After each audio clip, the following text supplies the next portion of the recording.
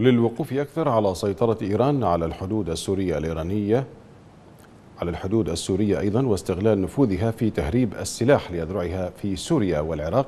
ينضم إلينا عبر الهاتف من الريحانية الخبير العسكري السوري الأستاذ أديب العليوي. أستاذ أديب بداية مرحبا بك.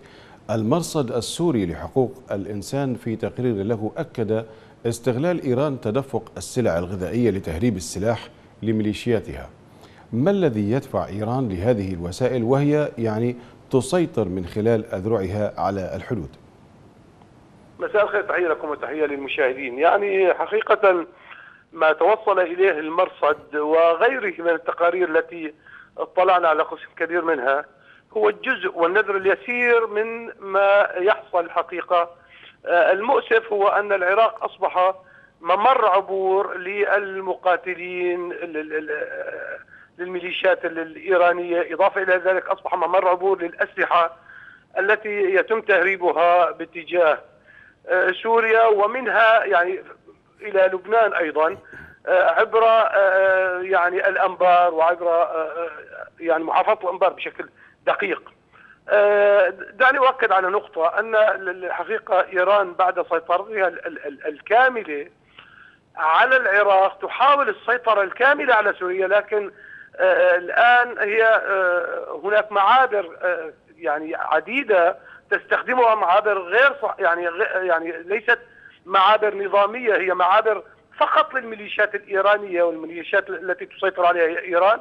هذه المعابر تستخدمها في تهريب الشاحنات والشاحنات المدنية بشكل خاص والآن أصبحت يعني يعني يتم تأجير مستودعات أيضا مدنية في في بادية التبني وغيرها بين الميادين وبين البوكمال هذه يعني المستودعات المدنية تقوم ب يعني تخزين الصواريخ بها وأصبحت مستودعات حقيقة لحزب الله العراقي وغيره من الميليشيات الإيرانية. يعني دعني أؤكد على نقطة أن يعني السيطرة الحدودية الآن على مسافة 600 كيلومتر بين يعني الحدود العراقية السورية هي تحت السيطرة الإيرانية أو الميليشيات الإيرانية من الجانبين إن كان من الجانب السوري وإن كان من الجانب العراقي. يعني بمعنى آخر الحشد الشيعي الذي يشترك مع الجيش العراقي ومع حرس الحدود العراقي هو يتعامل مع الميليشيات الإيرانية وهو يسهل تهريب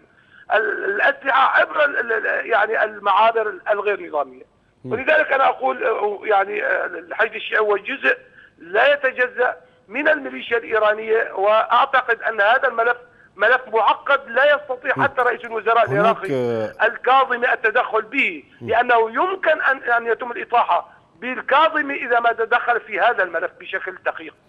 أستاذ أديب يعني هناك سلع غذائية تتدفق عبر الحدود الإيرانية عبر العراق طبعا.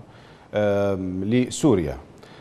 إذا يعني النظام يدعي أن أن هذه السلع الغذائية طبعا هي لإعانة الشعب السوري الذي أرهقه الجوع والفقر. نعم. كيف تنظر أستاذ أديب إلى موقف النظام من عمليات التهريب تهريب المقاتلين تهريب الأسلحة؟ هل هي بتنسيق مع النظام السوري أم أن النظام أصبح لا يسيطر على حدوده؟ يا سيدي الكريم اولا النظام لا يسيطر لا على حدود لا, لا, لا على الحدود ولا على البر ولا على البحر ولا على الجو. ال ال ال القرار العسكري في سوريا الحقيقة هو رقم واحد للاحتلال الروسي ورقم اثنين للاحتلال الإيراني. هناك انقسام في جيش النظام بين الولاءات بالنسبة ل يعني للاحتلال الروسي وللاحتلال الإيراني. أما فيما يخص السلع الغذائية التي يدعي النظام النظام الذي يخشى على على على على أبنائه من الجوع لا يقصفهم بالكيماوي. وبالتالي أنا أقول هذه السلع الغذائية التي يدعي النظام بأنها تدخل إلى سوريا هي الحقيقة السلع من الأعلى غذائية ولكن هي في الحقيقة يعني هي عبارة عن خدعة لتهريب الأسلحة والذخائر والصواريخ المتوسطة المدى التي وصلت من من منذ أيام إلى إلى إلى حزب الله العراقي الموجود في في مناطق محيط البوكمان وبالتالي أنا أقول هذه هذه السلع الغذائية هي عبارة عن خدعة يتم تهريب من خلالها بسيارات الخضار وسيارات المواد الغذائية يتم تهريب نعم. الصواريخ والذخائر إلى الميليشيات الإيرانية الموجودة في المنطقة وإلى حتى إذا ما اقتضى الأمر إذا ما كان هناك إلى الحدود حتى الحدود يعني مع فلسطين المحتله. نعم، أستاذ أديب على الطرف الآخر من حدوده يعني من حدود سوريا قصف النظام السوري مدينة كليس التركية. كيف تقرأ تداعيات هذا القصف وخاصة أن الرئيس التركي يعني صرح وتوعد اليوم بالرد؟ نعم. يعني ما قام به الحقيقة النظام من قصف على مدينة كلس وعلى نقاط أخرى منذ أيام ويحاول أن يخلط الأوراق الحقيقة. هناك الآن بوادر ل يعني لحل سياسي وهذا ما صرح به الرئيس بايدن وغيره. والحقيقة هذا لا يروق للنظام أن يكون هناك حلول سياسية في المنطقة.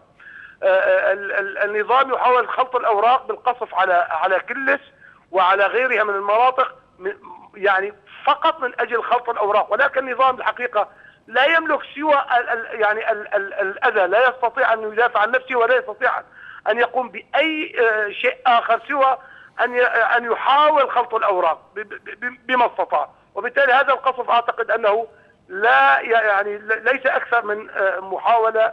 زعزعة الأمن في المنطقة ومحاولة لخلط الأوراق. شكرا جزيلا لك من الريحانية الخبير العسكري السوري الأستاذ أديب العليوي. شكرا جزيلا لك.